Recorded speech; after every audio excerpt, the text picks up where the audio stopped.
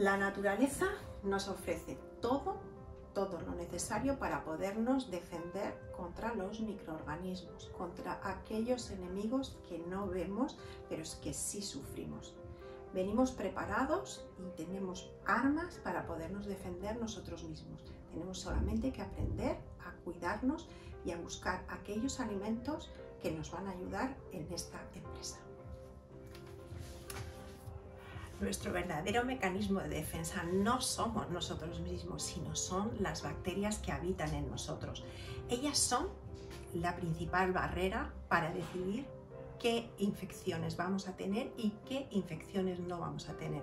Estas bacterias hongos y levaduras que tenemos conviviendo con nosotros van a ser los guardianes responsables de decidir si nos vamos a enfermar o no. Fijaros qué importante. Las bacterias, digamos, que son beneficiosas para nosotros, solamente durante los tres primeros años de vida hay una ventana donde nosotros vamos a poder eh, tomar esas bacterias y que se queden fijas en nuestro organismo. A partir de ahí ya lo único que vamos a hacer es ir cambiando o modulando las cantidades que hay de cada uno de los géneros que tenemos nosotros en nuestro interior. ¿Qué son los probióticos y cómo pueden ayudarnos a defendernos frente a los virus como el que estamos sufriendo ahora en la pandemia del COVID? Un probiótico es un organismo vivo. Al fin y al cabo es una bacteria o una levadura o un hongo, que cuando nosotros lo ingerimos en unas cantidades determinadas, son capaces de sobrevivir en nuestro tracto digestivo durante la digestión e incorporarse a nuestra flora bacteriana que tenemos nosotros normalmente. Y no solamente se incorpora, sino que ayuda a defendernos contra agentes externos, ya puede ser de origen químico o incluso de origen microbiológico, como en este caso estamos hablando de los virus. De las eh, bacterias acidolácticas o otras bacterias que son eh, probióticas, pues eh, tienen una vida muy corta en nuestro organismo. Como mucho, algunas de ellas como máximo pueden durar unos 5 días. Luego ya digamos que mueren. Entonces es muy importante que tengáis en cuenta que hay que tener una ingestión continua, continua durante, eh, digamos, toda la vida para asegurar que tenemos siempre esas bacterias disponibles. No nos sirve con tomarlas un día y ya no volverlas a tomar, sino que hay que tener una constancia teniendo siempre en cuenta que estas bacterias no se van a adherir a nuestra, eh, a nuestra pared intestinal. ¿Dónde podéis encontrar bacterias de este tipo? Bueno, o bien adquirirlas tal cual, que es eh, una posibilidad, o si no, eh, mirar todos aquellos quesos que estén hechos con leche cruda, sobre todo, o si están hechos con leche pasteurizada, miráis en la composición y ponga eh, fermentos lácticos, porque los fermentos lácticos son todos estos probióticos que tenemos.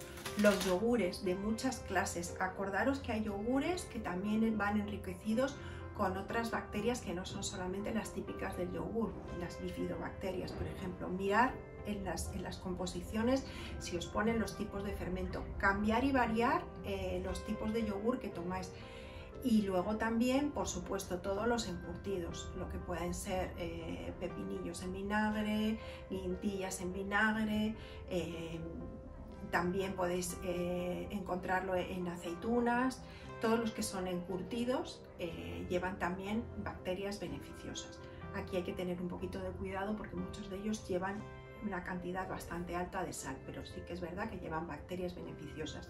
El chucrut, todo lo aquello que sea fermentado.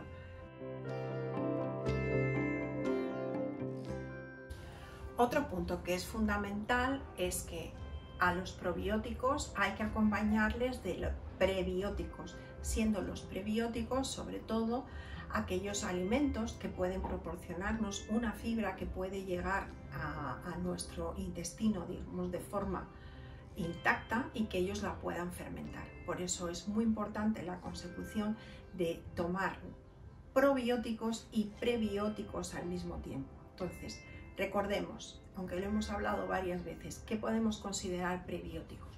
podemos considerar prebióticos todas las verduras importantísimas. Eh, recordaros no solamente las verduras que tomamos cocidas, sino también sobre todo las verduras frescas. Cuanto más frescas, mejor si son de temporada. La fruta también. ¿eh? Luego los frutos secos es un prebiótico maravilloso. Y luego todos los eh, arroz integral, todos los cereales integrales. El arroz, el trigo, la cebada, todo lo que podemos tomar en cuanto a cereales integrales va a ser un magnífico probiótico. Acordaros, probióticos y prebióticos juntos. Esto es muy importante, por favor, tener en cuenta que cada vez que nosotros tomamos tratamientos antibióticos, estamos matando literalmente esta flora bacteriana. Luego la podemos recuperar, pero tenemos que ayudarla y siempre que toméis antibiótico ya hay muchos eh, médicos que junto con el antibiótico ya nos mandan un prebiótico, pero si no es así, un probiótico, perdón, si no es así, procura, procurar vosotros consumir los probióticos aunque sean los que tenemos disponibles. Eh, animaros también a fermentar leche en casa, ¿eh? no es tan complicado y, y puede ser una fuente de probióticos eh, fabulosa. Recuperar las yogurteras esas que tenemos allí en el, fondo y, animaros a, hacer fermentaciones diferentes. Y si no tenéis tiempo y no queréis, pues bueno, comprar yogures comerciales, variando de marca, fijándoos en la, en la composición que tienen, porque verdaderamente es eh, la mejor defensa contra eh, no solamente el, virus, sino otras bacterias que nos, que nos rodean.